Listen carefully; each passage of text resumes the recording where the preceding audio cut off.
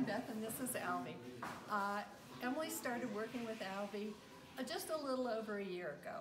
I moved from the East Coast to uh, Santa Fe and I had just come off of a year off with back problems and then a knee replacement.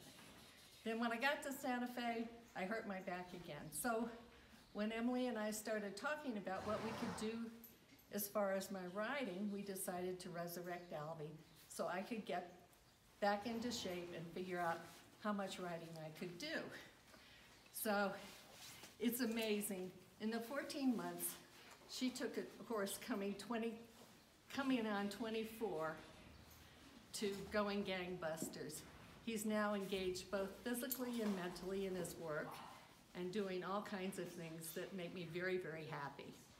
I think there are a lot of people that are very good as riders or trainers and a lot of people that are good as instructors. But Emily is that one of those rare people that is excellent in both. Uh, as a trainer, she's very in tune to the biomechanics of the horse and always is, uh, you know, working to try to help him get through his resistances and his, any discomforts he may have. And it, it's amazing the progress he has made. I have never seen her lose her temper with him or with me.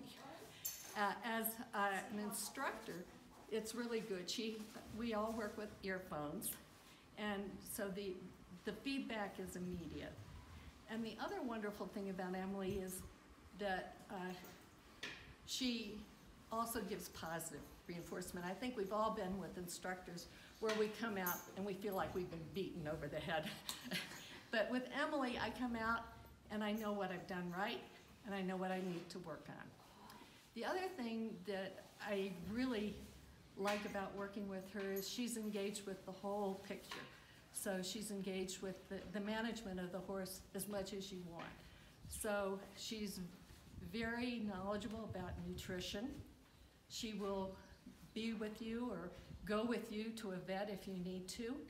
And then she also arranges for uh, saddle fitting clinics two or three times a year so that both you and your horse are comfortable and you're effective in your seat. So I think anybody that's interested in moving their riding forward and developing their horse would be lucky to work with Emily.